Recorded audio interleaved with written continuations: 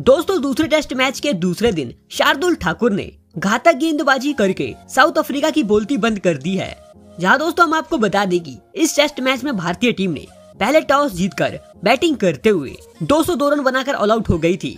और जब इसके बाद साउथ अफ्रीका की टीम अपनी पहली पारी की शुरुआत पहले दिन करने उतरी थी तो उन्होंने पहला विकेट अपने पहले दिन ही गवा दिया था। लेकिन जब आज साउथ अफ्रीका की टीम दूसरे दिन बल्लेबाजी करने उतरी तो उनकी शुरुआत इस मैच में काफ़ी लाजवाब रही थी।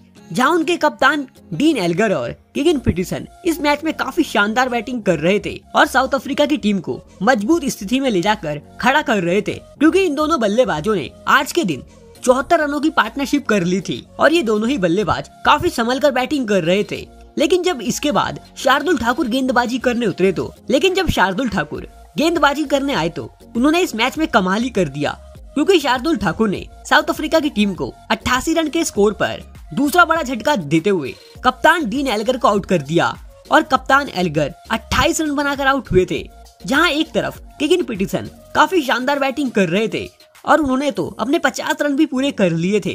लेकिन दूसरी तरफ़ से गेंदबाजी कर रहे शार्दुल ठाकुर आज अलग ही लय में दिख रहे थे और उन्होंने इसके बाद 101 रन के स्कोर पर तीसरा बड़ा झटका देते हुए किगिन पिटिसन को भी आउट कर दिया और पिटिसन बासठ रन बनाकर आउट हुए थे।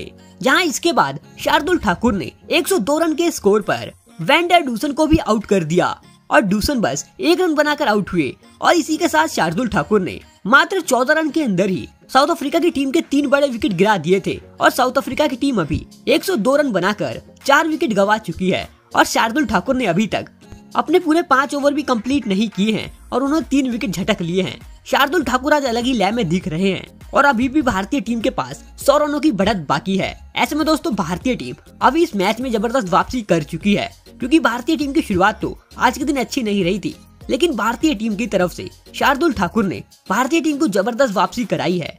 ऐसे में दोस्तों, आपको क्या लगता है, क्या भारतीय टीम आज के दिन साउथ अफ्रीका की टीम को ऑल आउट कर पाएगी कि नहीं? आप अपनी कीमती राय हमें नीचे कमेंट में ज़रूर बताएँ।